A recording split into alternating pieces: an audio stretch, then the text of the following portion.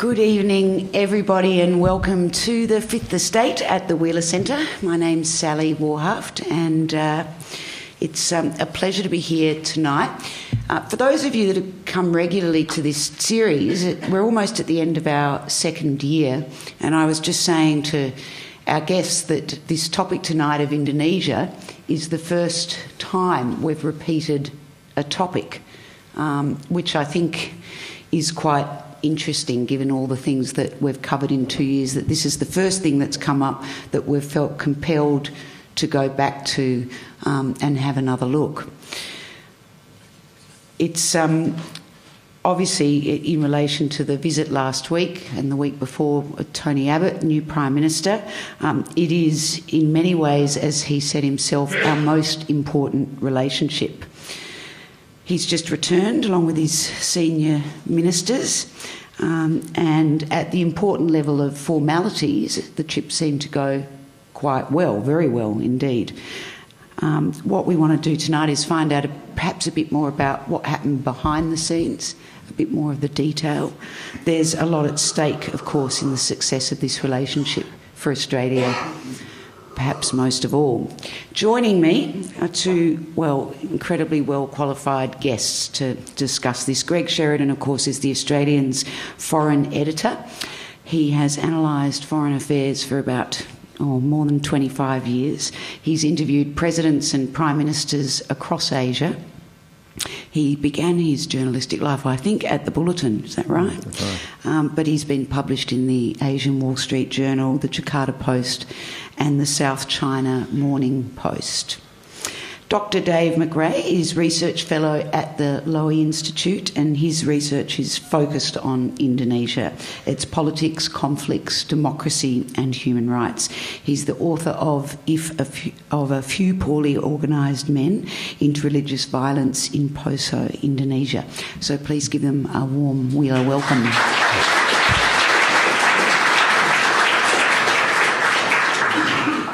It was about a year ago that we we covered this topic, and it was just after Schapelle Corby had been given clemency, um, and that was more the the sort of form we were discussing it um, last time. But Tim Lindsay was one of our guests, and he described the relationship between Australia and Indonesia as schizophrenic. Uh, he said that the Canberra Jakarta relationship is very good, very strong. It's made a lot of progress, but that outside that small world, the relationship is quite different. And in fact, that there was more distrust than 20 years ago in terms of Australians' perceptions of Indonesia. So I wanted to start by asking both of you um, to, to re- reflect on, on that and if you agree, if you think things have changed, uh, particularly in the last 12 months. Um, Dave, why don't you go first? Yeah, I think that's a reasonable assessment. Uh, if you look at the government to government relationship, I think things have been good under successive governments. We've seen sort of an institutionalisation uh, of the relationship in annual leaders' meetings, increasing meters, meetings at a ministerial level. Uh, I think there's still a challenge there of identifying common interests, uh, sort of at a more strategic level and, and seeing how far cooperation between Australia and Indonesia might go. But then when you look at people to people ties, uh, they're much less well developed. And in particular, with the polling the Lowy Institute's done both in Australia and Indonesia, uh, you see lukewarm attitudes in both countries towards the other, perhaps particularly in Australia, and also knowledge deficits, like only 33% of Australians knowing that Indonesia is a democracy a full 15 years after the end of authoritarian rule. Uh, and I think that really becomes a challenge for the relationship because as good as government to government relations have been, it's one where you frequently have bilateral crises, and when you have that sort of lack of knowledge or even prejudice in the community, beca- uh, each crisis becomes a lightning rod for that, and you, you have politicians playing upon those prejudices rather than acting in the in the long term interests of the relationship. I think about the same percentage of people think that don't understand that Bali is part of Indonesia too, survey after survey. Greg? I did a radio interview once. Um, I, I, won't embarrass the person by saying who it was, but it wasn't the ABC, where the interviewer said to me, Why do Australians know so little about Indonesia, Greg? He said, Nobody ever goes there for holiday. They go to Phuket, they go to Kuala Lumpur, they go to Bali. They never go to Indonesia. and I said, yes, well, there you go. That is a problem. Look, I, I think there, there, are three central realities about the Indonesian relationship. One, Tony Abbott is right when he agrees with Paul Keating, and it's the and I saw Keating endorse Abbott for this this week. They are the only two prime ministers who have ever said Indonesia is the most important relationship to Australia. This is true because no other nation has the uh, capability to bugger us up if it wants to in the way that Indonesia can. And I can give you 50,000 scenarios in which Indonesians, with about as much effort as moving that arm. Give us a couple. Well, they could destabilise uh, Papua New Guinea with a smaller budget than the Wheeler Centre. They could destabilise East Timor similarly. Easily, they could send people across the border in both cases. They could pay militias. It would be effortless, easy as apple pie. And uh, we have security responsibilities for both Papua New Guinea and East Timor. If they wanted to, they could contrive a huge flow of boat people. Uh, they could reinstate the visa-free entry for Iranians and tell their police not to worry about it because it's uh, they've got a lot of other things to worry about, and uh, see how we like 100,000 boat people uh, every year, and uh, we'd have a collective nervous breakdown about that. If you want to get really aggressive, they could close their islands, they close their archipelagic uh, seas to trade, and on and on and on and on. There are just an endless string of things they could do if they ever felt. Now there are things we could do to bugger them up too, and it's not good. It's not productive for nations to go down that road. But then the other two realities I want to allude to in answer really to your question, Sally the two big gaps in the Australia Indonesia relationship are a, a, a, business economic relationship.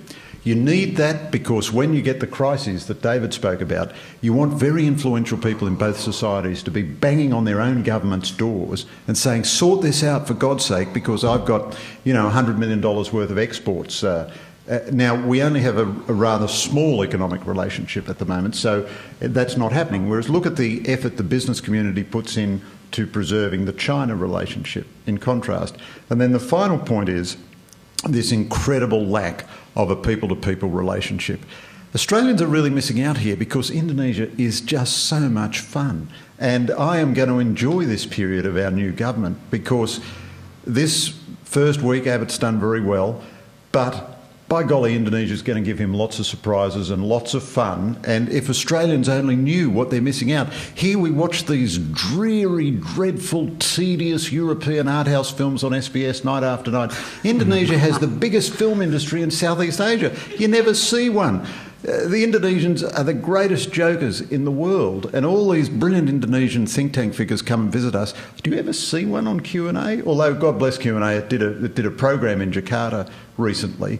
But the, the absence of Indonesia and Southeast Asia from our life, we pay less attention to Southeast Asia now than we did in Paul Keating's time. And to finish this thought, there are fewer Year 12 students in Australia now, in absolute terms, learning Indonesian than there were in 1972 when we still had mm. the White Australia policy. We've gone way, way backwards in this relationship. We did invite the editor of the Jakarta Post tonight, but it wasn't. We thought we'd have a go. Um, it would have been. Um, He's a great guy. Yeah, yeah. Mm. So I hear. Now, everybody, uh, I want you to respond in a moment, Dave, to whatever you want from mm. Greg has just said. Well, mainly I just sound a word of caution on Indonesian film. There are many of them, but pick carefully because they're not all blockbusters. It, it's a bit of tasting. Laskar Pelangi was good. You have to admit that. Yeah, yeah, sure. Um, I mean, you, everybody who knows about Indonesia talks about this lack of, at the popular level of Australian people. But how, how do you contrive for Australian people to understand another culture as complex and diverse as Indonesia better, um, and and on a level that is real. I mean, you know, we, India, you know, people say, oh, there's Bollywood and there's Indian restaurants. I don't know. I don't know how much that helps, but with Indonesia, we don't even have that. How do you confect it because that's that's what is going to have to happen. If uh, what do you call it? I think if people knew the simple answer to it, it would have happened a long time ago. But uh, I mean, part of the problem is, uh, as you mentioned, it's just not normal uh, for Indonesia to appear in our pop culture Uh, it's unfortunate, for instance, that, uh, well, the Socceroos are in crisis at the moment, but in normal circumstances, our football teams are not at a similar level, so you don't have the same rivalry that you have with, say, a Japan. I think they could beat us at cricket at the moment. Quite possibly. Um, but I think you need to get people going over there. Uh, sort of uh, at the moment, uh, I think in country study is something that's really built up a cadre of Indonesia savvy individuals, but that's a very small set of people. Uh, as Greg mentioned, we have fewer and fewer people studying Indonesian, and I think really getting over there, having some first-hand experience. Uh, we already have very large numbers of Australians going to Bali, but you go to Lombok, even the next island across, and the Australian accents are gone. Uh, once mm. people have that experience, they've got something to to compare against. So I think, uh, and as you say, uh, it's not happening of its own volition. Part of the problem is uh, when people do study Indonesian. I've had friends who've studied Indonesian language and then gone to look for a job and got, oh, hang on, this isn't helping me, and, and sort of left it behind.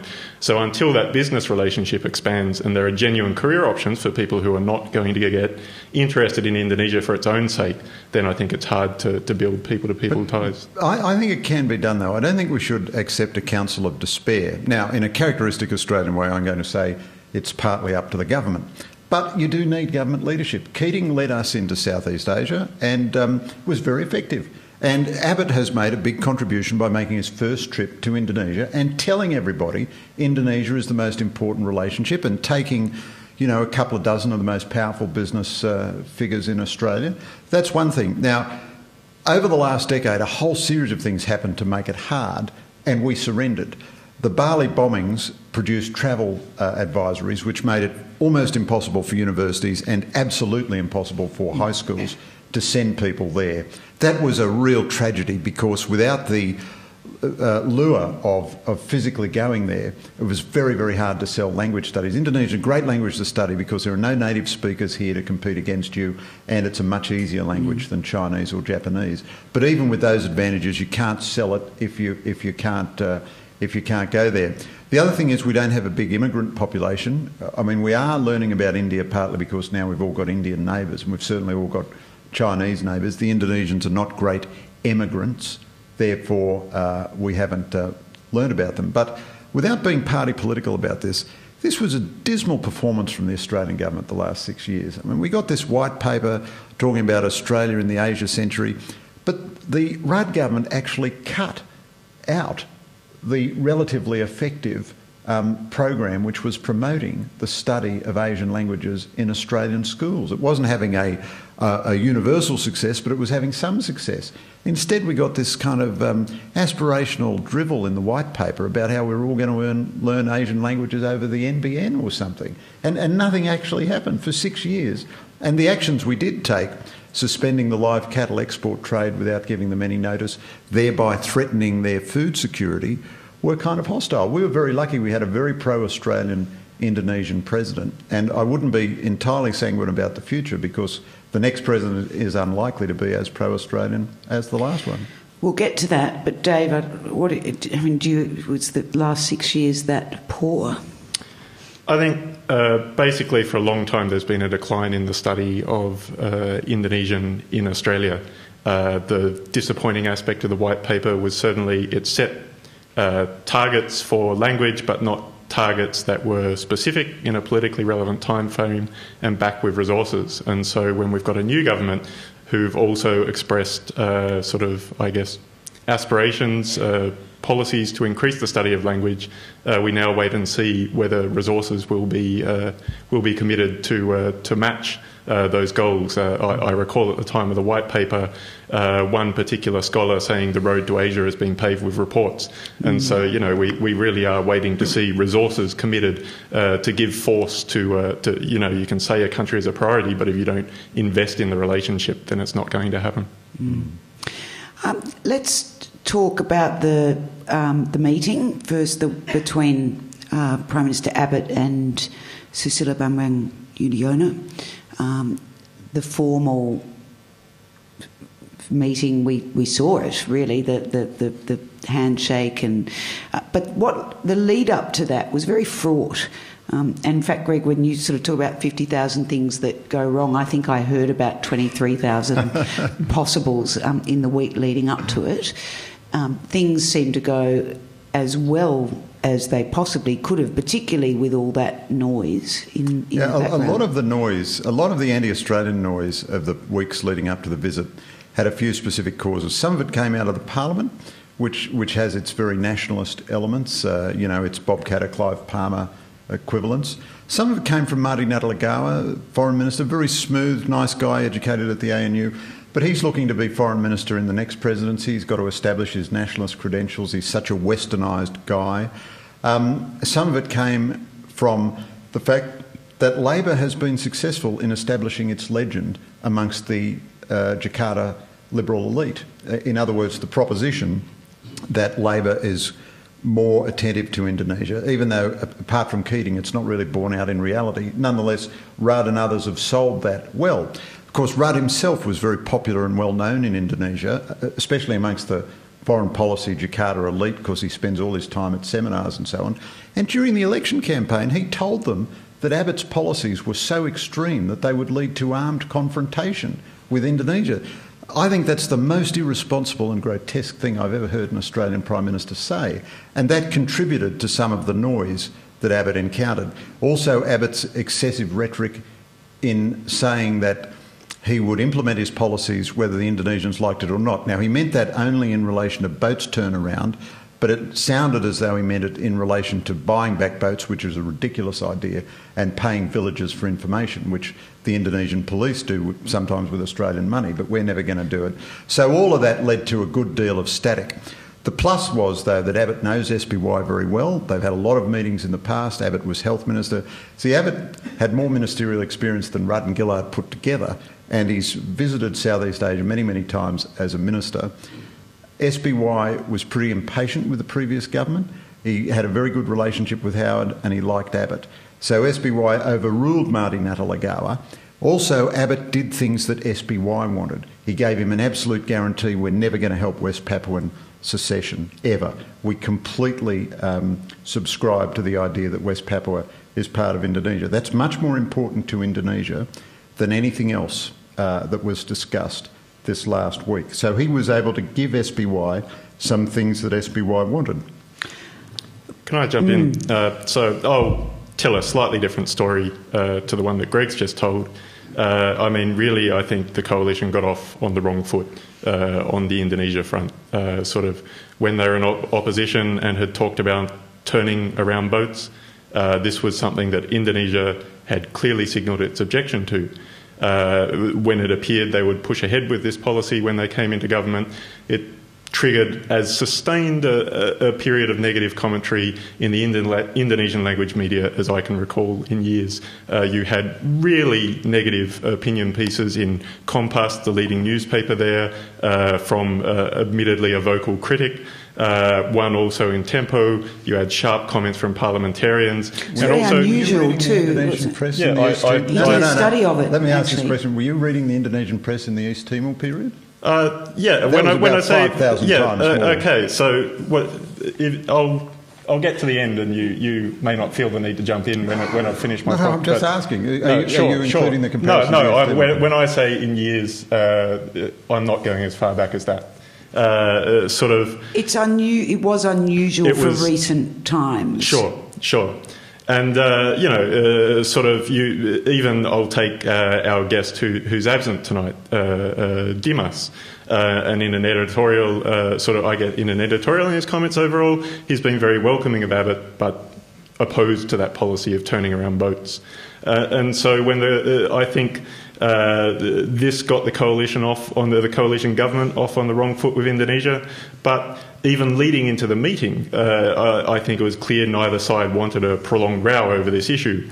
Uh, relations have been good; both sides want relations to continue to be good, and and so I think the media, uh, going to Jakarta early uh, in the first overseas visit for Abbott, I think was a good step. Uh, it signalled the importance of Indonesia both to Indonesia and the Australian public, and with what had happened in the weeks leading into it, it also provided a timely opportunity to move past that row. And in deferring uh, discussions on on the policy to a ministerial level, it gives the coalition now an opportunity to quietly drop uh, that policy, which I think is the right thing to do. Uh, when you go on to Papua, uh, certainly an expression of uh, support for Indonesia's sovereignty over Papua is something that has been bipartisan, sort of at least back to the Howard government, uh, it, it's almost become a ritual that each time there's a meeting between Australia and Indonesian leaders, uh, you have this expression from the Australian government of support for Papua.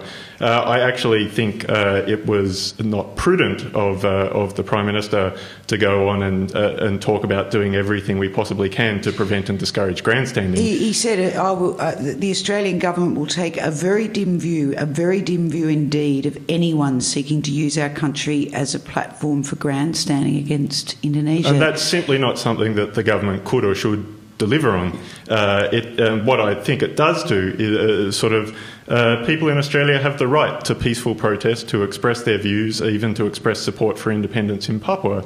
That's separate to the government policy, uh, what the government's policy is on that front.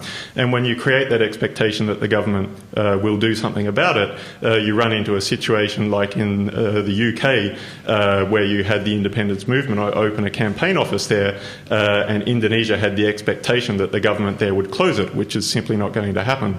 and so, yeah, I, I, I I think uh, to go to make that sort of statement was a step too far. Uh, to express admiration uh, for the improvement in autonomy in Papua was out of step with conditions on the ground. Uh, uh sort of uh, autonomy uh, certainly has increased the cadre of elected Papuan officials who are now uh, putting in place policy administering uh, the two provinces that make up what Australians would call West Papua, uh, but it hasn't resolved uh, sort of the grievances of many Papuans, and the Indonesian government itself uh, acknowledges that there's a need for a new approach there. And so when we have a statement of admiration that essentially sweeps the existing problems under the carpet, uh, it makes it difficult for the Australian government to engage seriously on an issue that were conflict in Papua to escalate would be one of the things that could could really damage the Australia Indonesia relationship. Yeah, if I could uh, respond there. I mean, David, you're talking great common sense, of course, goes without saying.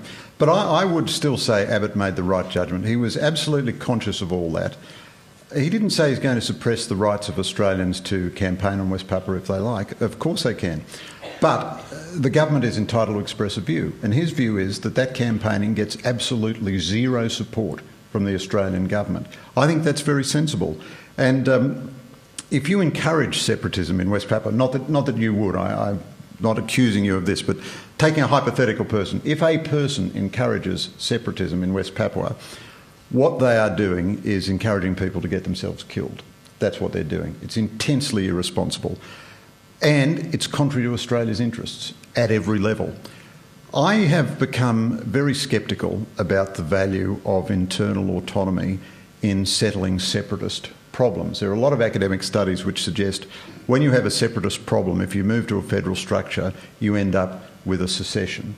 Uh, I think all you can ask for is that the governance structure be the same everywhere within the nation, which in Indonesia, of course, involves a lot of, uh, you know, craziness and in contradictions and so on. There are lots of provinces in Indonesia where there are human rights problems. It's a very poor country still, with very rickety uh, governance measures. Uh, there are lots of people who get killed extrajudicially in India, sad to say. Australia cannot solve these problems, shouldn't try to, and it's none of our business. By all means, we should express human sympathy and solidarity with any victim anywhere in Indonesia. But um, I think it was very smart of Abbott to take that maximal position so that anything that does happen in Australia about West Papua, it's very clear it doesn't have any government fingerprints on it. Um, just a couple of quick responses. Uh, uh, so, first, on the, just to take the broader question of autonomy, I think one of the really interesting things to come out of Indonesia over the past decade is in Aceh, at the other end of the archipelago, you had what looked like an intractable separatist conflict, uh, much higher level of conflict between the Indonesian military and a much more capable militarily uh, separatist movement there. Uh, but a peace deal in 2005 has seen the grant of broader autonomy. Uh, and much as there are some sort of worrying developments at the moment, what you basically have is a situation uh, where that conflict has been terminated. Uh, the rebels have transitioned into into government of the autonomous province, uh, and people really look at that at the moment as a as a successful case of resolving separatist But conflict. That was solved not by autonomy, but by the tsunami. As you know, the tsunami changed everything in Aceh. Sure, it, uh, it opened a, a, a period, an opportunity to solve things, but uh, uh, it also, uh, where previously it had seemed intractable, where demands for independence had seemed that something that uh, the Free Aceh movement would never put aside, uh, you then had a willingness to come to the negotiating table. Uh, on Papua and uh, sort of the, the, the issue of saying we will, I don't know if you have the, the what uh, the Prime Minister then went on to say after the, the bit you read out of, uh, we will do everything we possibly can to, what were the precise words, to prevent well- and discourage? or Uh, We'll take a dim view, he said. Uh, after that, there, there was more, we'll do everything we possibly can to stop to stop people. Uh, and, Ah, uh, well, uh, let's if- not if- verbal him here. Let's either No, have no, his well- exact words or, or, Well, or Yeah. not uh, well, let's defer it for, for people can. Uh, the video is online. Um, absolutely. wi- without going straight into that, one of the big problems uh, in Papua, apart from the violence uh, happening between uh, uh, the military and, uh, and the part of the independence movement that's armed, uh, and I think a really interesting thing to come out. Uh, as uh, sort of Sidney Jones was here recently and, and highlighted from the World Bank's uh, monitoring of conflict in Papua that only 12% of the violence happening in that uh, is actually between is actually separatist violence. So it's the most violent part of Indonesia, but there's a lot of other forms.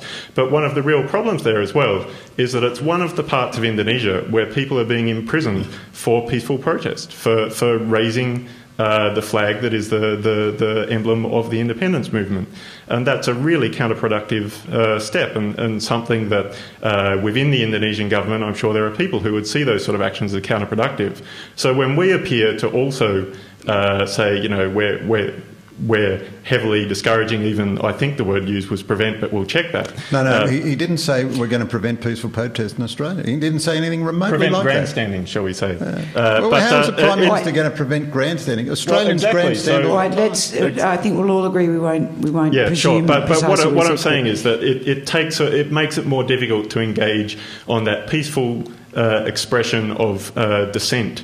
Uh, in the context of the Papua issue within Indonesia. And I think in our engagement with Indonesia, sure, we, uh, certainly Australia should not presume to solve Indonesia's problems. And Indonesia would never, uh, set, would never sort of stand for Australia uh, presuming to do so. But in our engagement with Indonesia, what we have to do on many of these issues, there are domestic constituencies, or within the government, there are there are different uh, constituencies. And in our engagement, we need to strengthen the hands of those who are seeking to take a Yeah, but the truth approach. is, we can't strengthen anybody's hand in Indonesia. This is a completely mad delusion of grandeur in which we occasionally indulge ourselves. Bad things happen all over Indonesia. Ahmadis get killed, as you know, by uh, by Muslim uh, mobs. Uh, Shias get killed by uh, by Sunni mobs. Uh, Christians get murdered in, in different parts of Indonesia. Folks get murdered in criminal uh, in a conflict all the time, uh, all over Indonesia. Uh, Australia can have no influence on this. What- and what we it's, can it's, a, it's the road to madness to think that we can, from Canberra or Melbourne, when we've just agreed that we've never had a smaller percentage of our population studying Indonesia ever in our history, when we have a, an anemic and underdeveloped people to people connection, when we have the smallest diplomatic service per capita of any OECD country, that somehow or other we can solve the internal problems of Indonesia. Again, I don't think we can solve, but again, to take a simple example, when last year there was a, a suspicious killing of uh, an independence figure in Papua and uh, suggestions that the uh, police may have killed him in an improper manner, and uh, the foreign minister at the time called for an inquiry. Uh, there was, you know, uh, it was, shall we say, uh, reported in a spirited fashion at the time. But, but I think what that does is it encourages the next time that something happens, uh, there's more of an awareness that sort of uh, this could be something that attracts scrutiny. That, that's not a fundamental driver of the dynamics of, of things in Papua, but it's something that you can do if you're engaging in an open way. I'm going to shift it from Papua, although what what this part of the discussion reminds me is how difficult Indonesia is to govern. Absolutely. And that there's an election next year. Um, and what are going to be what are going to be the important domestic um, issues in the lead up to this election that are most likely to affect Australia, or the ones that we have to keep our eye on? Well, the the um, the economy is slowing down in Indonesia. People are unhappy about that. Um, the president, although I personally admire him enormously, and he's certainly the most pro Australian president Indonesia has ever had, indeed, he may be the most pro Australian person amongst the entire 250 million people in Indonesia. it's, it's a little bit baffling why he loves us so, but God bless him, he does. Do you, I mean, maybe it's worth just exploring why. Well, he sent his uh, son here for education. He, I was with him. Um, just after he'd been to see the family of Australian service personnel who died in Nias, uh, assisting Indonesians after the disaster there. And he was very, he was genuinely very moved. Now, in Indonesia, a leader has to deal with a lot of uh, terrible death, a lot of terrible death. But what moved him was the proposition that there were young, idealistic Australians who would die in their attempt to help Indonesians. That moved him very profoundly. His own political career, he's the only Indonesian politician whose own political career has benefited from a pro Australian orientation because after the Bali bombings, I think on the first anniversary, um, Megawati was president and she wouldn't go down there on the first anniversary. So he was security minister. He went down instead and he gave a very beautiful, very fine speech, one of the great uh, speeches. And it was broadcast in Australia. And this kind of cemented a special connection between SBY and Australia, and he got great plaudits for it, both in Indonesia and in Australia. What a wonderful concatenation of circumstances that God should produce that uh, an Indonesian politician on the way up strikes good fortune uh, uh, by being friendly to Australia. But having said all that, SBY is no longer popular in Indonesia. He is seen not to have delivered. Uh, his party is mired in corruption, although there's no serious um, uh, allegation of corruption against him, but his, his own party, the Democrat Party, many of its uh, figures are compromised by terrible corruption scandals. Uh, and he's seen as being an ineffective president. On the other hand, the previous presidents were torn down because they took polarising positions on certain issues. So he's been very, very cautious. He's regarded better internationally than he is domestically. The two, it'll be a very personalised election. Indonesian voters are, are forgiving, but they're not stupid. They want strong and effective government. There are kind of two very interesting candidates. One is Prabowo, a former general with a bad human rights record, who promises strong government. And many Indonesians are willing to forgive him his record uh, in exchange for strong government. He would be a challenging president for Australia because he's very, very nationalist the other leading candidate is J- uh, Jokowi, the governor of, uh, of Jakarta. Jakarta. He hasn't declared his candidacy yet. He has no known views on foreign policy. He's a nice guy. He'd probably be better for us. On the other hand, he might be a weak president. It won't be an, a campaign decided by issues so much as by personalities and effect. It's not unlike uh, Indian election campaigns in a way. Yeah, I, I, would agree. We're heading into what will be a personality driven election campaign, uh, uh, sort of with the disquiet with Yudhoyono's performance as president. Uh, sort of the word you hear people use in Indonesia all the time is uh, a successful candidate will be the antithesis uh, of Yudhoyono, and uh, Prabowo was considered the antithesis of cautious, indecisive Yudhoyono as a firm former military figure. But it's interesting, even when he was the front runner in the polls, his popularity never exceeded about the mid teens uh, during the period that uh, him and the former President Megawati uh, were the two figures uh, people thought might contest for president. Neither of them could really get out of that mid teens range. Then, when you had Joko Widodo, always referred to as Jokowi, go from small town mayor in central Java through to mayor of Jakarta, uh, uh, sorry, to governor of Jakarta. Uh, the reason he's considered an antithesis is he presents a real man of the people image. In his campaigning, he, in Jakarta, he went out to the back streets. Uh, he had a real social media campaign around him, and he presents an image as a problem solver, uh, someone who shows up, comes up with a solution, and you know he, he's not been Jakarta governor long enough for people to see uh, whether or not those solutions will be effective. So uh, Jokowi uh, party is PDIP, the former President Megawati's party. Uh, within that party, she has the sole authority to determine the presidential candidate. Uh, so although he is now his popularity has quickly risen up into at least the 30s or higher, he's a clear frontrunner if he were to get elected. Uh, but it's really up to Megawati to decide. Uh, my impression of the party is that his hand is strengthening, but it all deter- everything will be determined after the April legislative elections because only then do you know for certain which parties uh, meet the threshold uh, of 25%. Uh, or, 25% uh, of votes or 20% of seats to be able to nominate a candidate. Uh, the, the, the one thing that could perhaps knock Jokowi out uh, would be if uh, PDIP, Megawati's party, performed particularly well. Uh, she might think, oh, maybe I'll have one more run for president, even though she's lost twice in the in the, the past two direct elections for president. But beyond that, the fact that it's going to be a personality-driven election uh, there are some uh, certainly corruption. Uh, sort of uh, one of the dangers for any of the parties uh, is that they have corruption scandals that emerge. And in, just in the last week, you've had the Chief Justice of the Constitutional Court arrested for bribery. So there was already a big focus on corruption in Indonesia. It's been heightened further now. the other thing, another thing, is food prices. The price of soy, the price of beef uh, both are salient to Indonesian politics in a way that, say, asylum seekers simply isn't. Uh, and uh, with the restrictions that Indonesia itself has placed on imports as part of its uh, desire to be self sufficient in a, in a range of foodstuffs, that's seen prices go up, and that's become a, a big political issue as well. A tiny, a tiny footnote here, and I agree with everything David said. The one institution in Indonesia which is quite popular is the press, God bless them, because they constantly expose corruption. So Indonesians don't trust their government, don't trust their institutions, but do trust the, the press. How lovely. Isn't it wonderful? lovely. um, is there anyone with the, I mean, the, the, the two contenders you've both talked about, I mean, neither of them sound like the, all the love of SBY that you expressed, Greg.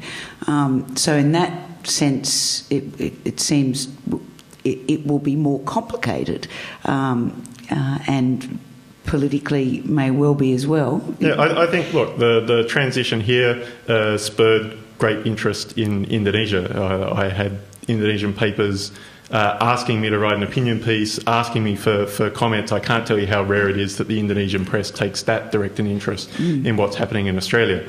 Uh, in the same way, the, the transition and beyond uh, Jokowi, beyond Prabowo, you have people like Aburizal Bakrie, a business tycoon who uh, fronts up the former regime party Golkar. Uh, sort of whatever candidate comes in, it's going to be different to what we've become used to over nine years of Yudhoyono. Uh, I don't think we need to be as pessimistic that they'll necessarily be worse for Australia. I think Prabowo would be a bad scenario, uh, both in terms of uh, where he might take the country if he sought to, to wind reforms back. He is an authoritarian era figure. He has at times expressed uh, enthusiasm for a more guided form of democracy rather than the current democratic situation.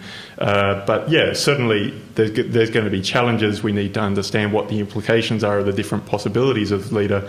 But I don't think we have to assume outright uh, that things are going to be worse because there is, there has been now for, for a good period of time, I guess, an underlying uh, interest in establishing a good relationship. You saw it even uh, from uh, the Foreign Minister Marty Natalegawa uh, expressing in his meetings with uh, Julie Bishop the, the, the notes of which the foreign ministry there leaked, uh, that uh, Australia and Indonesia should uh, t- engage in a stock take of uh, common interests they might have that they could pursue together in multilateral forums. And uh, closer cooperation in multilateral forums is, uh, I know, something that sort of there's been, it's an idea that's floated around on our side as well in terms of is this something we could do in things like the G20 that we're both members of. so there is that underlying uh, underlying enthusiasm for closer ties, but cer- certainly a bad case leader could, could make things very difficult yeah, indeed. David makes a good point there. Um, anything is possible, even a good outcome.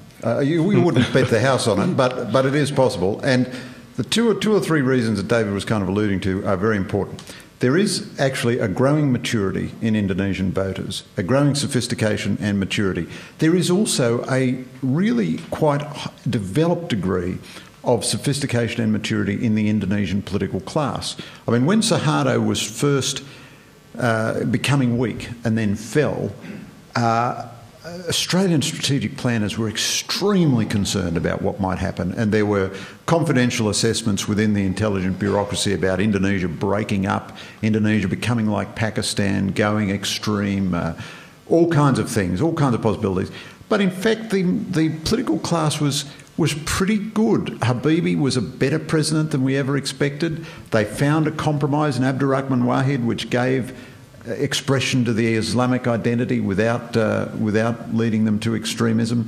Megawati was a do nothing president, but she had to have her period. And then we got really, overall, a pretty good outcome with SBY. So there's every uh, reason to think that. Um, there's a good chance that Indonesian voters and the Indonesian political class. The, the one, though, the one big negative is we are in trouble with Indonesian success or Indonesian failure. Indonesian failure would be a disaster, but Indonesian success is also going to be challenging for us because quite soon they will be a much bigger economy than we are, and in due course they'll become a significant military power, and they'll be less. Our points of leverage over them will grow less less strong. Um, other alliances that we've just been talking about the sort of internal dynamics and the things that matter between Australia and Indonesia. But Tony Abbott also in the past two weeks met with Manmohan Singh, the Indian Prime Minister. He met with the Chinese leadership. Uh, Julie Bishop met with John Kerry. She met with um, several other foreign ministers. There's been a lot of a lot of meetings going on. What are what are some of the wider um, relationships that might cause tension? Uh, that you know that are important, that are also important, incredibly important to Australia, um, that might impinge on the or, or, or favour the relationship between Indonesia and Australia.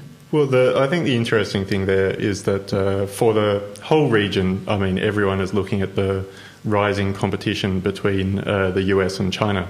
Uh, Australia is an ally uh, of the US. Uh, the Prime Minister in the coalition's foreign policy statement is described as our most important ally.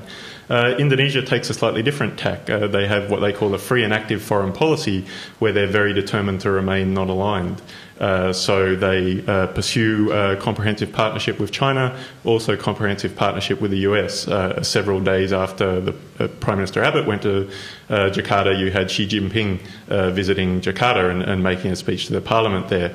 Uh, but and their their preference, I think, in their foreign policy is for there to be no one preeminent power within Southeast Asia, and there's, there's an aspiration that you you will have a peaceful situation there. And much as I think, uh, as I said, they they are determined to stay non-aligned. They pursue ties both with the US and China. I think there is still a greater comfort uh, as a democracy uh, with the US in, in foreign policy circles overall in Indonesia than what there is with China. And, and certainly the China's assertiveness uh, in the South China Sea, I think, creates disquiet not only for Indonesia but, but throughout the region there. Yeah, yeah, I, would agree with that. There, there's a lot of contradictory forces at work at the same time. An interesting episode I'd refer you to is when Gillard um, uh, pioneered the uh, annual rotation of US Marines in Darwin, Marty again was at least as opposed to that as he was to boats turnaround and had very sharp things to say about it.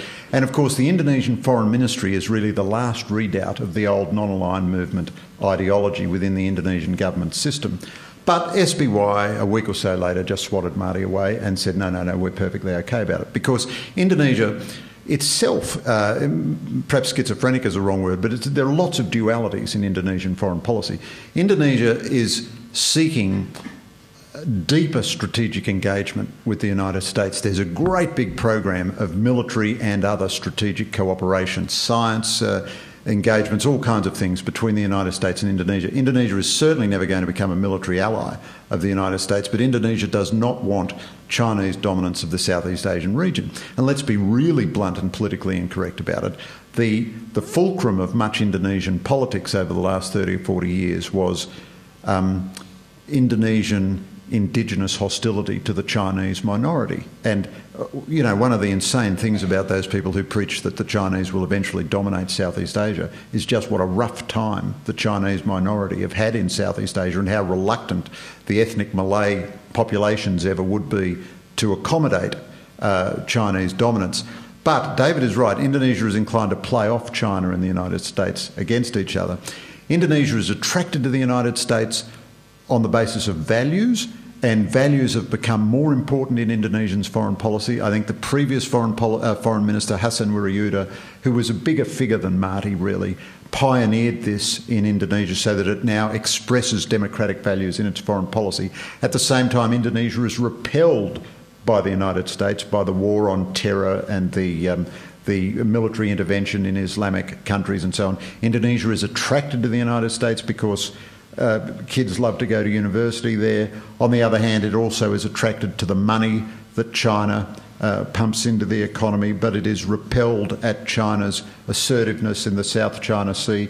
Now, there's no relationship that Australia has which causes trouble to our relationship with Indonesia. Our relationship with the United States is an enormous plus for us because Indonesia, because it doesn't have a big uh, diaspora population, has very little uh, clout in Washington. It has very few friends. It doesn't have allies and it doesn't have a, a domestic lobby always uh, in the way that India does or China does.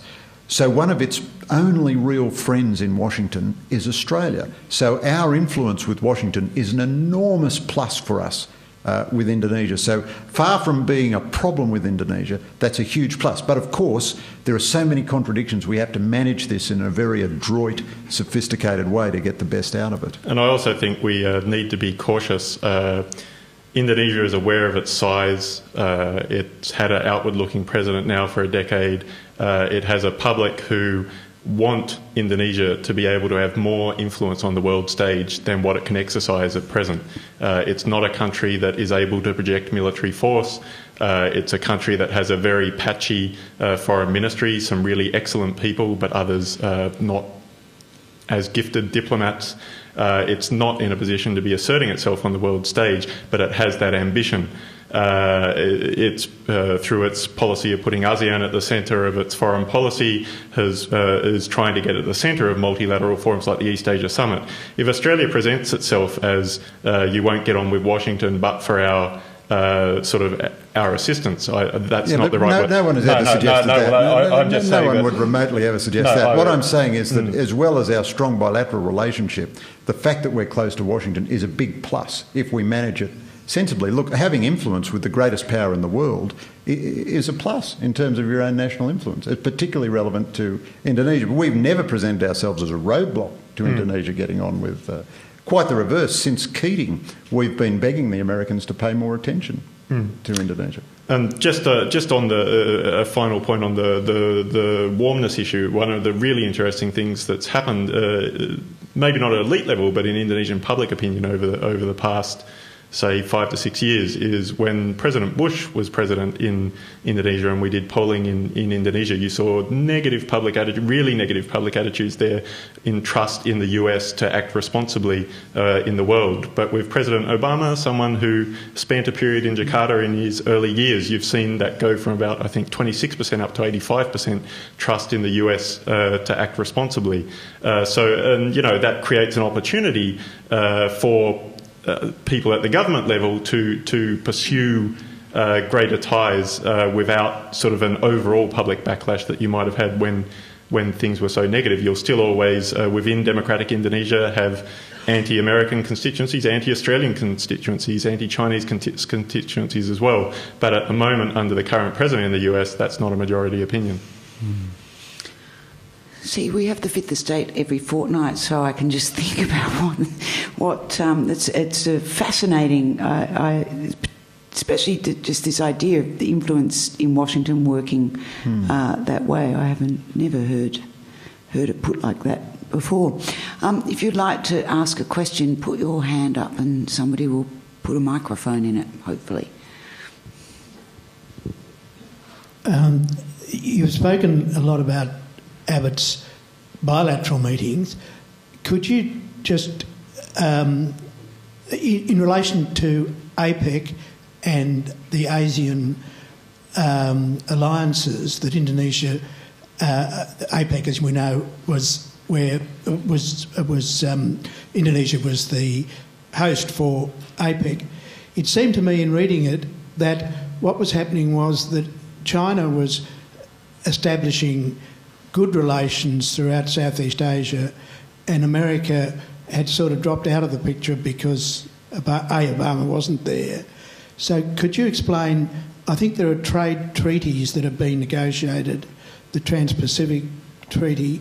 I think there may be another one. Could you explain mm. what's actually happening yeah, and how Australia is doing in terms of being American aligned rather than I, I, don't, I, don't, think there's a simple binary quality like that. Uh, there are two competing trade treaties being negotiated in the Pacific. I don't think any of, either of them amounts to a hill of beans. One includes China and um, Indonesia. One doesn't because its its liberalisation demands are too strong. Obama not attending was definitely a, a negative for the Americans, but.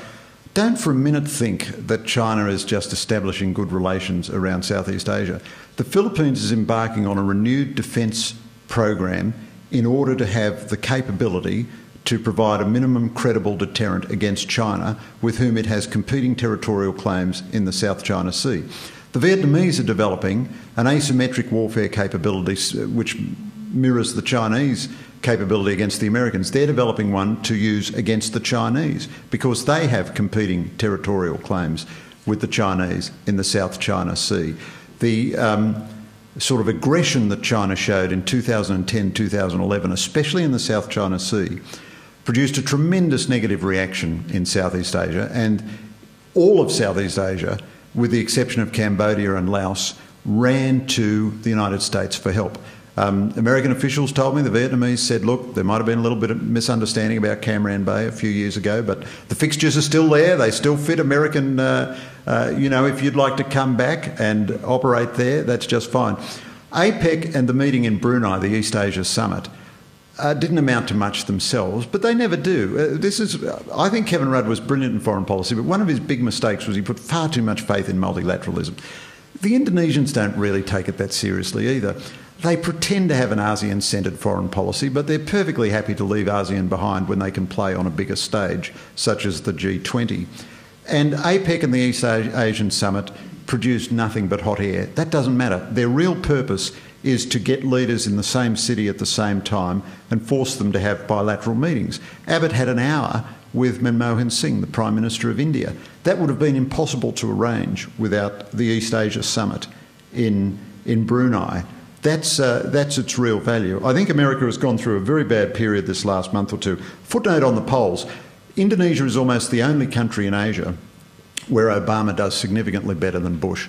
Bush did very well in Asia because most of Asia is not Islamic and uh, has the same view of Islamist uh, terrorists as he does. Indonesia was always a bit different, much more anti Bush than the others, and of course, Obama has a singular advantage having lived in Indonesia. I myself have met 100 million Indonesians who claim to have been to school with him in, in Menteng. But that, that's a very distinct, so that's a great advantage, and the Americans should have taken more advantage of Obama. David to answer the question. Yeah. Okay, well, there you go. You get two for the price of one. on, the, two trade negotiations. Well, again, uh, I, I, don't think it's necessarily a positive dynamic to have uh, two. Uh, trade agreements that uh, each of them exclude a significant country. I think overall it would be better to have uh, one that, that included uh, the significant players uh, in in the one agreement, but we'll see where it goes with either of those. Um, I think. Uh, Obama being absent is certainly a, a short-term negative. It, it, doesn't speak well for the governance of the US, but I also don't think it affects the underlying issues that the countries present face in their foreign policy. And it go, again, it goes, you look at Indonesia, uh, they want to be non aligned, uh, they don't want one predominant power, and that remains the same uh, regardless of, of who shows up to these particular summits. Uh, and uh, just to take on the ASEAN point, I think, sure, uh, Indonesia has uh, aspirations to be influential on the regional stage, on the global stage, uh, in addition to its role in ASEAN. But I've, I've, had people there say to me that Indonesia is strongest on the broader stage when it also has a strong ASEAN for, mm. for those multilateral forums that, that they're trying to put at the centre of. Mm. Hi, thank you both for your insights tonight. It's been really interesting. Um, I've just got a question um, about development policy from an Australian perspective. We can see from the lead up to the election here that there's likely to be massive cuts to international development and even likely no AusAid in the future. I was wondering if you could comment about the potential impact this might have on the Indonesian relationship and our national interests there. Um, well, I'd, I'd, say a couple of things. One is I think over time, the relationship with Indonesia cannot be driven by the, uh, and even our aid program in Indonesia cannot be driven by the dollar value of that aid. Uh, Indonesia has a massive economy, big enough to be part of the G20.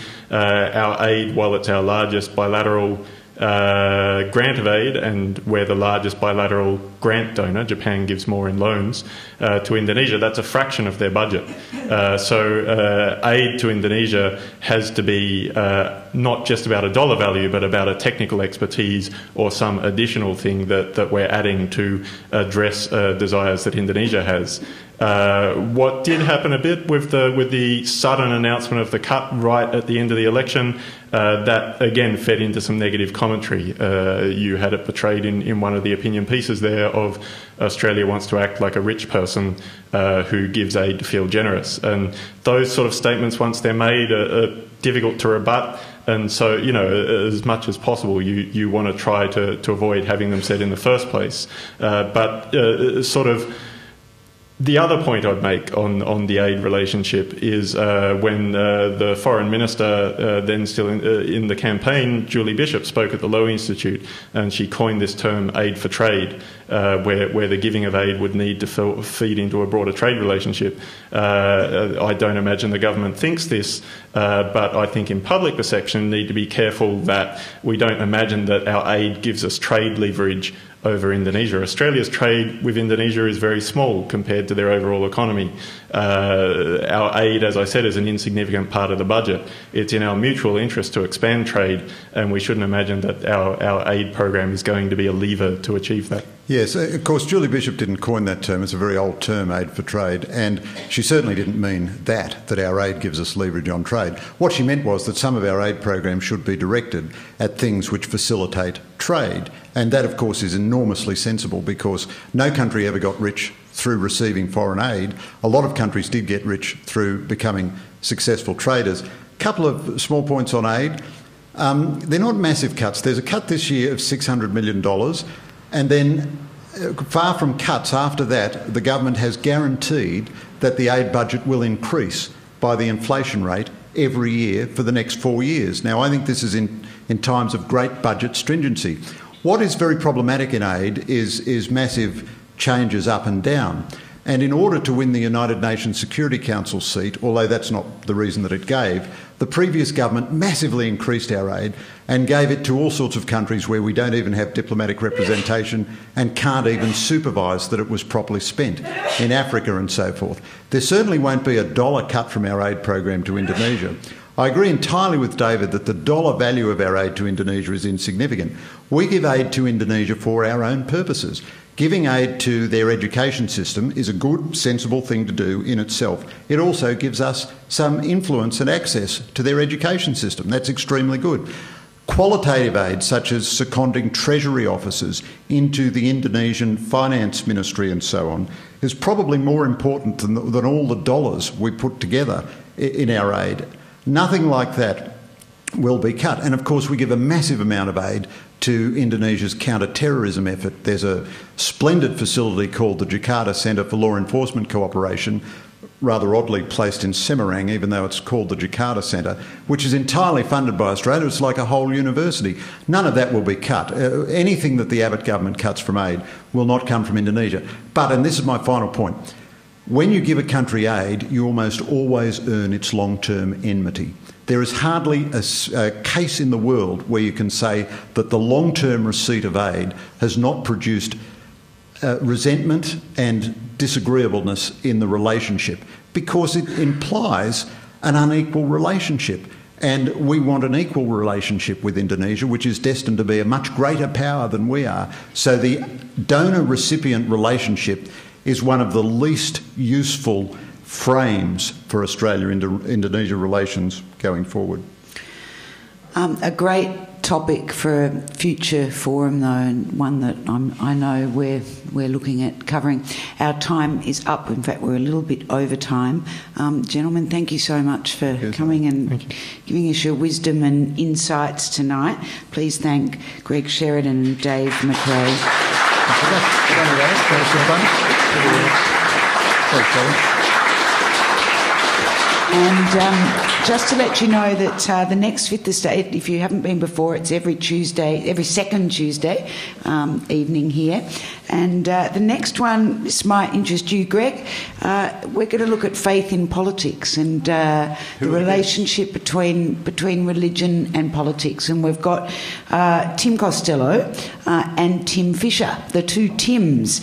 Tim Costello, of course, former um, Baptist minister and World Vision CEO, uh, and and Tim Fischer, uh, former deputy prime minister and leader of the National Party. So, um, a great topic in two weeks' time. In the meantime, thank you very much for coming, and uh, have a lovely and safe evening. Thank you.